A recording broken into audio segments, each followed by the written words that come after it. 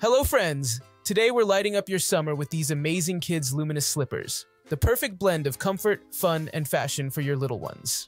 These indoor slippers feature a cute cartoon car design that kids will love, making them a hit for any indoor activity.